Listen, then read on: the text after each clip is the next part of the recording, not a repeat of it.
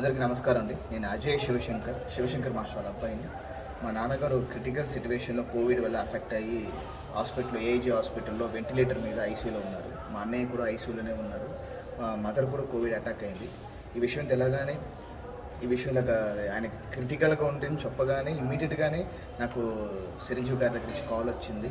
ఆయన పిలిపించి ఇప్పుడు ఇమీడియట్గా ఇప్పుడు ఉండే ఈ సమయంలో చాలా వెరీ క్రిటికల్ సమయంలో ఆయనకి సహాయం చేస్తున్నారు. సో ఆయన మాకు మా ఫ్యామిలీకి త్రీ ల్యాక్స్ చెక్ ఇచ్చారు. నిజంగా ఆయనకి ఎప్పుడు మేము రుణపడే ఉంటాము నిజంగా. ఎందుకంటే నాన్నగారు చాలా చాలా సినిమాలు ఆయనతో చేశారు. ఆయన అంటే నాన్నగారికి చాలా చాలా ఇష్టం.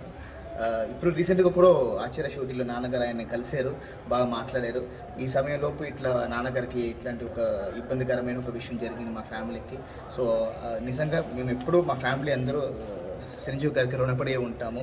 ఈ సమయంలో ఈ ఆయన ఈ సహాయం చేయడం అనేది ప్రతి రూపాయి కూడా ఇప్పుడు మాకు చాలా పెద్ద విషయం కనిపిస్తుంది. నిజంగా థ్యాంక్ యూ సార్ మీకు ఎప్పుడు మేము రుణపడి ఉంటాం. Thank you so much